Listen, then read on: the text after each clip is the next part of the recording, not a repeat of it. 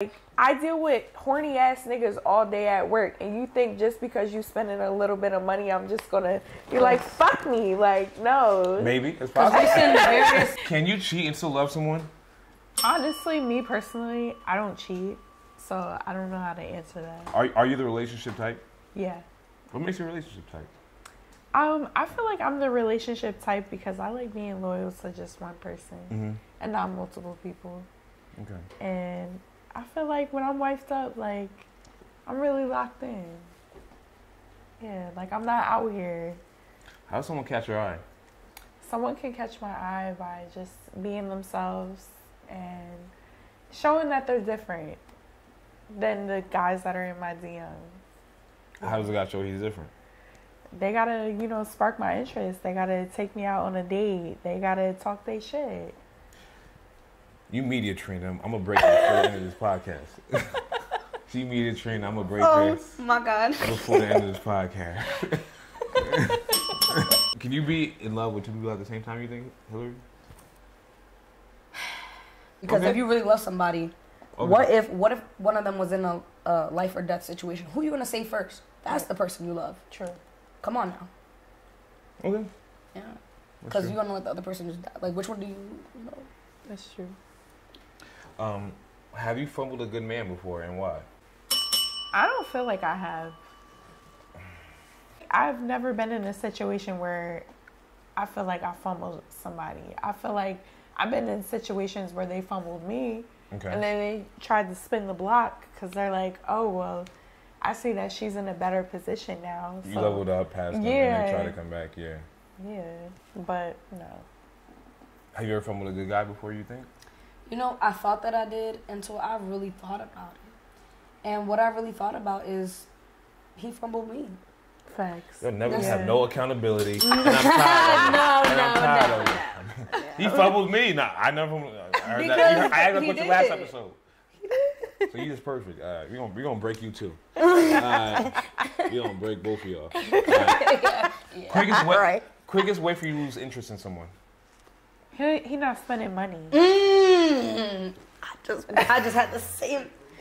Why gotta be about like money? Like Because all the girls that love people for who they are didn't get us nowhere. So Yeah, now, and if I you're don't- not spending money, I mean, I don't gotta date somebody who broke. I don't gotta struggle.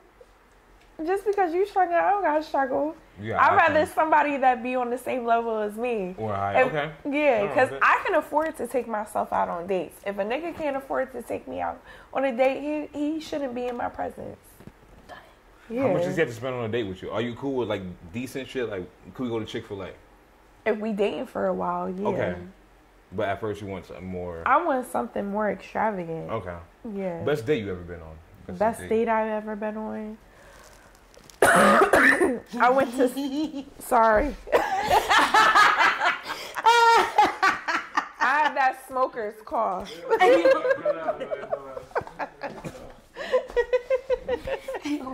Best date I have ever been on. I went to Stone Pizza for the first time.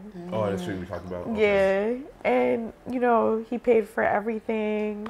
Everything was a vibe. It was super chill, super genuine. Yeah. You gave him the cheeks. Um, not the first night. Okay. Yeah, not the first First night. night.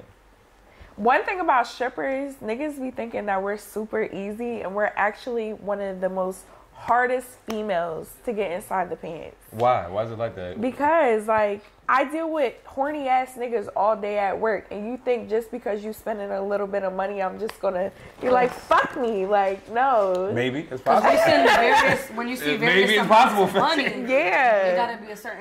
On the and- right night, maybe.